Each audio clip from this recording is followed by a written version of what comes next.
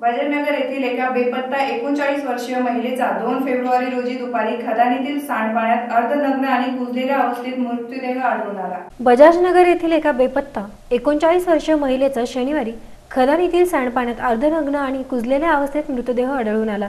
या घटनेमुळे परिसरात मोठी खळबळ उडाल्याने नागरिकांची घटनास्थळी मोठी गर्दी झाली होती. या प्रकरणी वाळूज एमआयडीसी पोलीस ठाण्यात अकस्मात मृत्यूची नोंद करण्यात आली आहे.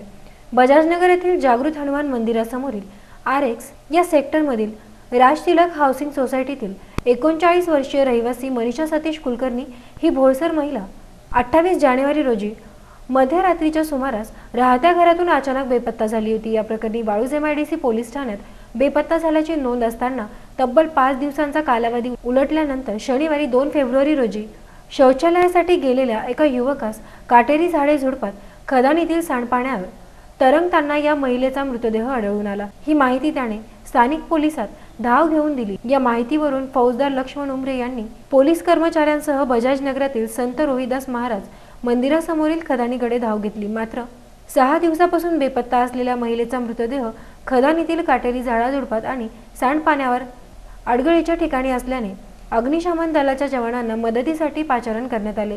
यावेळी जवानांनी कुऱ्हाडीने काटेरी झाडे झुडपे तोडून खदाणीतील सांडपाण्यात अर्धनग्न आणि कुजलेल्या अवस्थेत महिलेचा मृतदेह तासभराच्या अथक परिश्रमानंतर बाहेर काढण्यात यश आले.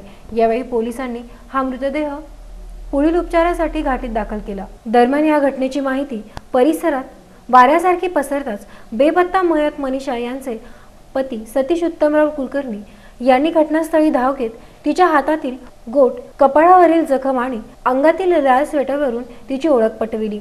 यावेळी सहाय्यक पोलीस निरीक्षक विजय घेरडे फौजदार लक्ष्मण उमरे यांच्यासह पोलीस कर्मचारी आणि वाळू अग्निशामक विभागाच्या अधिकारी कर्मचाऱ्यांनी मदतीचे कार्य केले.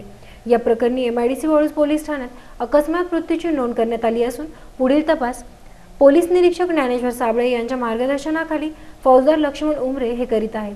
मात्र या महिलेने आत्महत्या का केली की हा अपघात आहे याचे नेमके कारण कळू शकले नाही.